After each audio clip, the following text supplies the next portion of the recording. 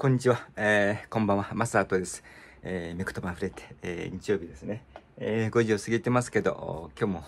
えー、ちょっと、えー、短くなりますけど、えー、今日はコリント人の手紙の第2の10章ですね。えー、10章の、えーえー、12節から10最後の18節までをお見たします。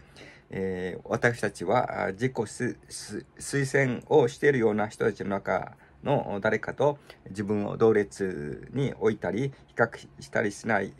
しようなとは思います。しかし、えー、彼らが自分たちの間で自分を測ったり比較比較したりしているのは知恵のないことなんです。えー、私たちは限度を超えては誇りは誇りはしません。私たちがあなた方のところまで行くのも神が私たちに、えー、測って割り当ててくださった限度内で行くのです。私たちはああなた方のところまでは行かないのに、行かないのに無理に手を伸ばしているのではありません。事実、私たちはキリストの福音を携えてあなた方のところににまで行ったのです。え、私たちは自分の限度を超えて他の人の働きを誇ることはしません。ただあなた方の信仰が成長し、あなた方において私の領域内で私の働きが広げられることを望んでいます。それは私たちがあなた方の向こうの地域にまで福音を述べ伝えるためであって、決して他の人の領域でなされた働きを誇るためではないのです。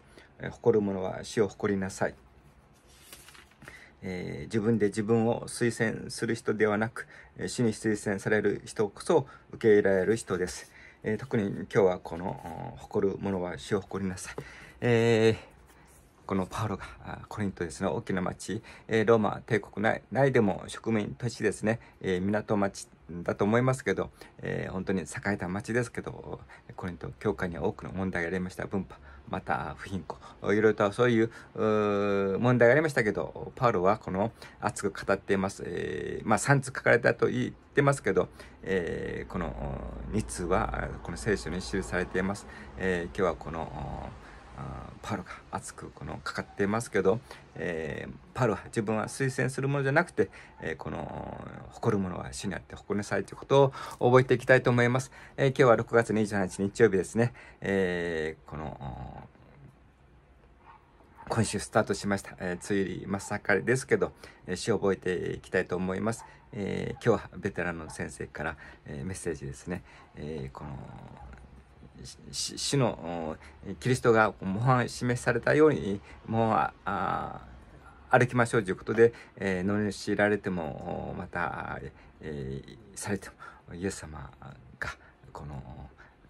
足跡に歩くように、えー、ちょっと大変ですけど、えー、死と共にまたあ死の前にある幸いを覚えていきたいと思います。えー、今週は短くなりました。あえー